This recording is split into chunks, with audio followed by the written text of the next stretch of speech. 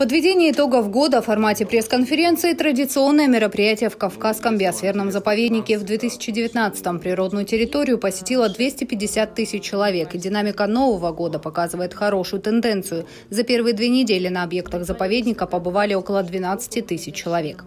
В Сочи и Лаганаке появилась новая услуга – скитур. Это подъемы и спуски на специальных лыжах, а также прохождение маршрутов по пересеченной местности.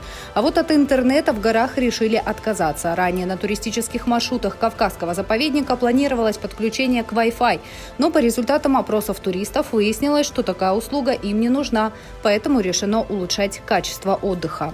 Задача Кавказского заповедника – это не э, развивать дальше туристические маршруты, а их сделать более компактными, более современными. Мы будем рассматривать, все-таки мы к этому придем, сделать маршрут э, через Безыменку на Кардавач – кольцевой маршрут. И мы с наукой обсуждали, тема интересна. И мы хотим более модернизировать наши вольерные комплексы. В чем бы загружаться, заключаться, что мы хотим построить такие видовые площадки над каждым животным. Человек поднимался и был выше забора, с этой площадки мог наблюдать за животным, а не смотреть через эти сетки, как сейчас.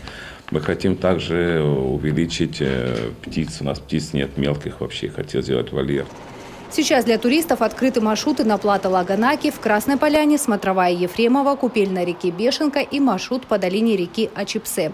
Посещение Бзерпинского карниза в ограниченном режиме и возможно только в составе организованных групп, так как эта территория лавиноопасная и при большом количестве снега маршрут закрывается.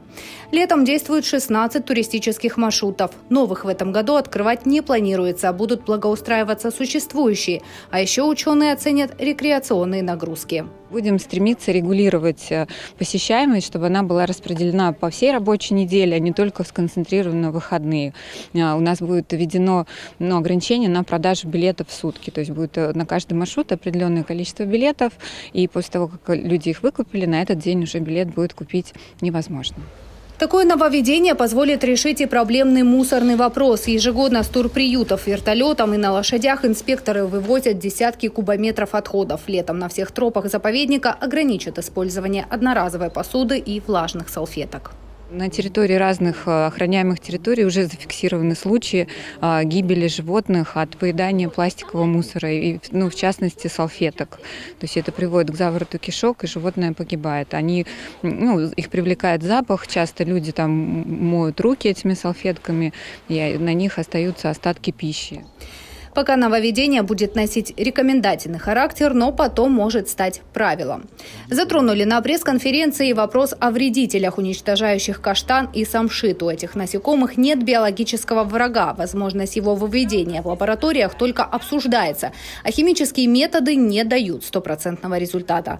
Примерно половина насаждений каштана в Кавказском заповеднике заражена. Велика вероятность возвращения самшитовой огневки. Сохранить реликтовое растение можно только благодаря благодаря появлению почек на старых растениях и высадке новых саженцев. И надежда на то, что колхидский самшит не будет утрачен, есть. В птицесамшитовой роще уже появились десятки молодых ростков. Татьяна Говоркова, Михаил Дубинин, телекомпания «ФКТ».